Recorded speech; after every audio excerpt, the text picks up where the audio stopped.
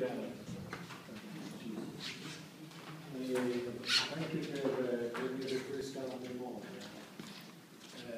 Forse penso che convenga che tocchi alcuni punti delle ultime cose dette dal professor Biocco per poi passare ai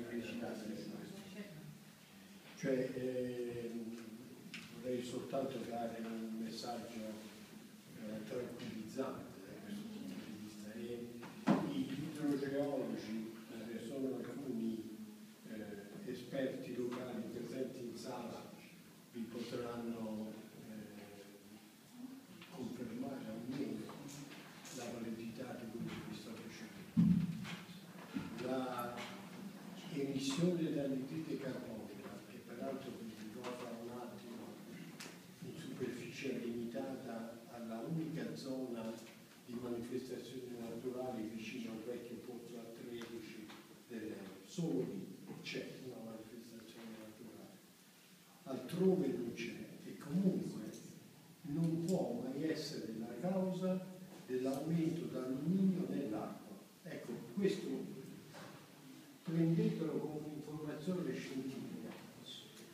La causa dell'aumento drammatico, come quello che veniva ricordato nel 2010, di alluminio nelle acque, poi avete avuto il problema dell'arsenico, che quello è stato più un fatto di eh, cambiamento delle soglie di eh, accettabilità. Però questo aumento dell'alluminio dovuto essenzialmente a forti piogge.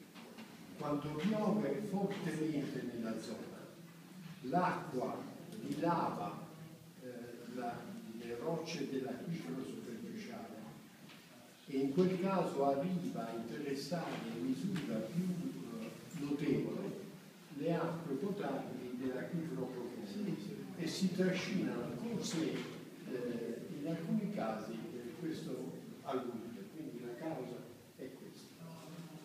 CO2, alluminio carbonica. Nei documenti che abbiamo presentato e ripresentato abbiamo anche illustrato i risultati di una, per la prima volta fatta nella zona di Chiapartica, di un rilievo molto particolareggiato di misure di flusso di anidride carbonica dalla zona fatto da un gruppo dell'Istituto Nazionale di Geofisica sul Carbonio. I risultati sono che al di fuori della zona della manifestazione già più volte menzionata e anche ricordata eh, altrove il flusso dell'anidride carbonica dal terreno è estremamente basso, veramente basso. Queste misure sono state ripetute anche due mesi fa,